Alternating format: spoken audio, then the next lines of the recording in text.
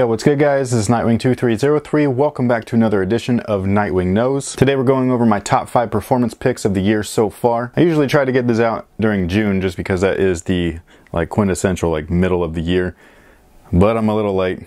Sorry about that. Before we get started, Wear Testers 2.0 basketball shorts just dropped. They come in a gorgeous white colorway, royal colorway, yellow colorway, and black. The interior features a splatter cement print, paying homage to one of my favorite sneakers of all time, and international shipping is always available. If you're interested in grabbing a pair, all you gotta do is head over to the Wear Tester shop. Link is gonna be in the description box below. So with that being said, let's go ahead, get right into it. While we're eating.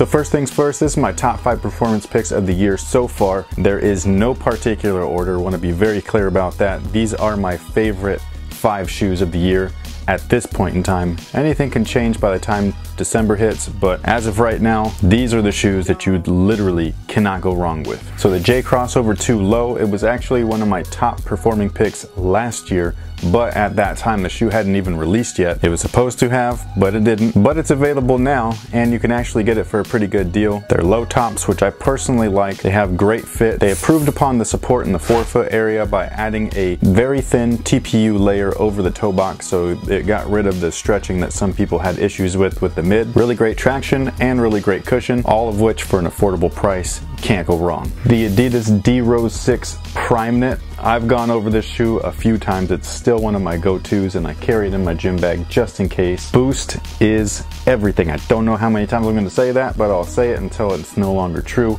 Boost is life. The Adidas D-Lillard 2, this thing is a monster. It's 105 bucks. It might be the most affordable sneaker here. That doesn't include any of the shoes that are on sale because those D Rose 6s I've seen for 50 bucks. That's a steal. However, their original retail price on the D-Lillard 2 is 105 it's amazing to have a shoe that good, price that low. And yes, the shoe would still be amazing even if it was $200. It would just be an expensive ass top performing sneaker. But lucky for us, it wasn't priced that way. Those guys got really good traction, depending on the court condition. A cushion bounce is awesome. Not quite boost level, but it's very close. And then the material options, depending on your personal preference, they literally have something for everyone. Now these next two shoes are probably tied with like my, my favorite amongst these five. I alternate between these two shoes frequently because they are both that good. And that's the Adidas Crazy Light 2016 and the Nike Zoom KD5. No, not five.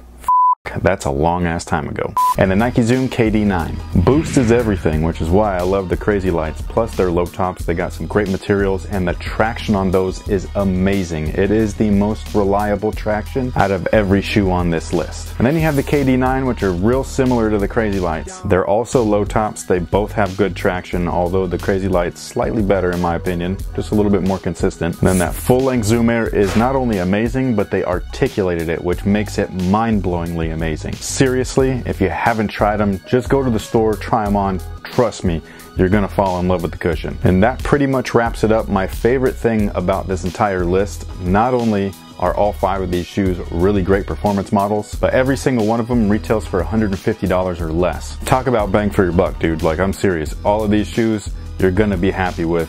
If you've got one or the other, or you're interested in one or the other, you cannot go wrong with any of these, in my personal opinion. So that pretty much takes care of it. Thank you guys for watching. Let me know what you guys think in the comment section below. And until next time, guys, have a good one